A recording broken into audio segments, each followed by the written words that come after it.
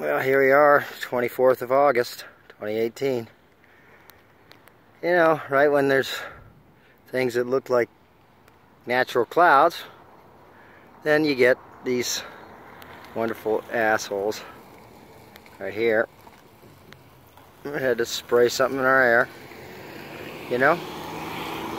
So, just the usual.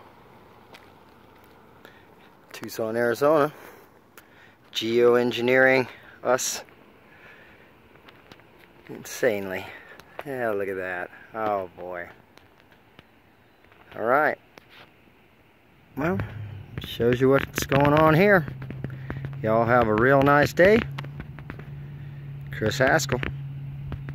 Out.